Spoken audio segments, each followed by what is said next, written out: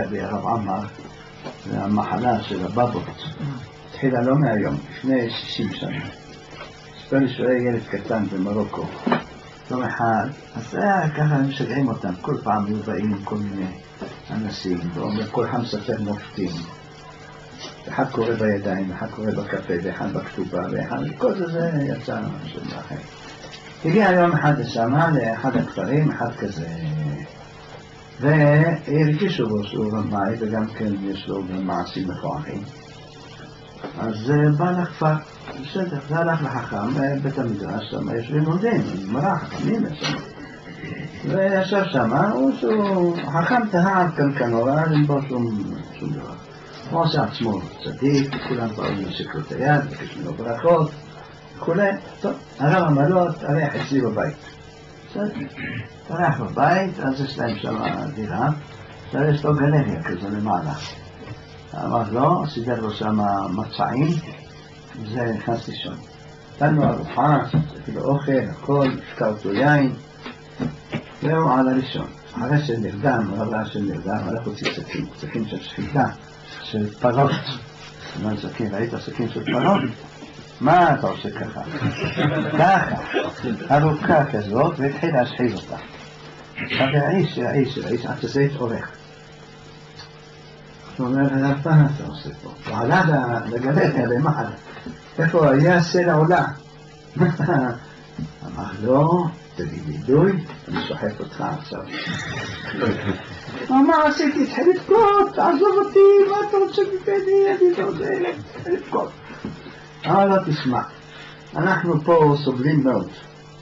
האנשים שלנו מלאים צרות, כל פעם מחפשים קברי צדיקים, קברי זה, נוסעים, אחד פעם נוסעים לפז, כן, נוסעים למקנס, נוסעים, יודע לאן, דרך ברע. וזה. אנחנו פה בכפר כולנו עניים וגלמודים. אני רוצה שיהיה לנו פה קבר של צדיק. אחד בעל מופת, יהיה קבור פה. ואז אנחנו נעשה תיירות. יבואו לכאן. אמר לו, אז מה, אז מה אתה מתכוון? לא לשחוט אותך. אתה צדיק.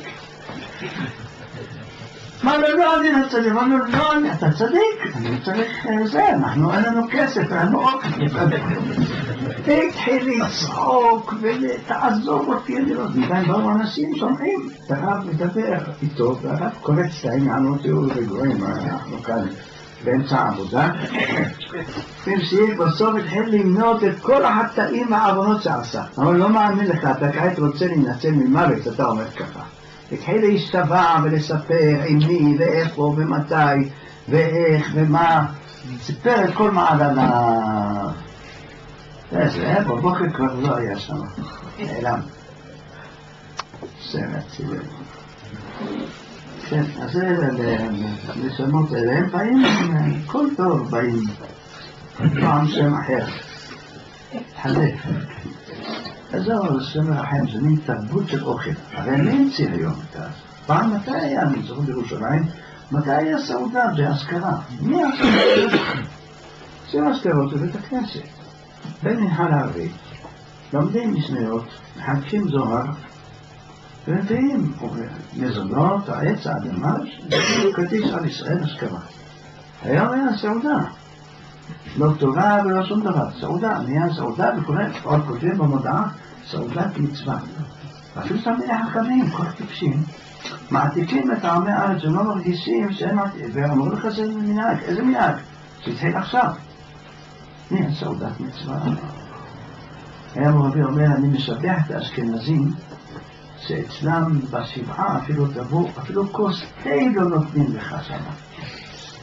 אין כלום. זה בית אביבים לא הולכים, באים ללמוד תורה, לנחם וללכת. מה זה הדבר הזה? מאכלים, השקעות, לאכול, לסבו. היה פעם באיזה בית, לא אגיד לכם משפחה של מי, בא מורבי בליל השבעה וזה, שנעשה לימוד שם, זה החבר שלו. אותם חברים, וואי, שם עצבנים, קם והלך. אמר, המת אוכל עקרבים שם, ואלה אוכלים פה עופות וזה. זה מה שרציתי לעשות. כן, הוא מחכה שיגידו עליו דברי תורה, ילמדו, נעשו סדר, זה נהיה כל היום נהיה ככה. ולך תתווכח איתם, זה בכלל לא...